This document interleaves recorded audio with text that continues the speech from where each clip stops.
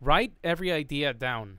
As good or bad as it may sound, any idea has the potential to grow, transform, and or adapt while it is not forgotten. Prototype early. Ideas tend to evolve when we interact with them. Unexpected behaviors in the prototyping phase may also bring about interesting changes or improvements to your idea.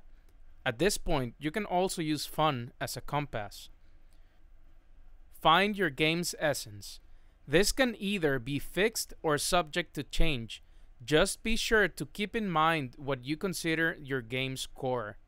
It's important to know if changes and additions are building onto your essence or changing it.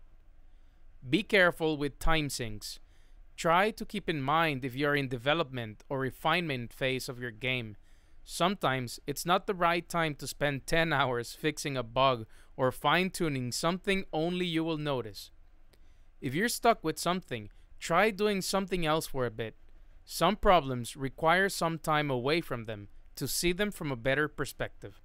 Make up your own tips and share them in the comments.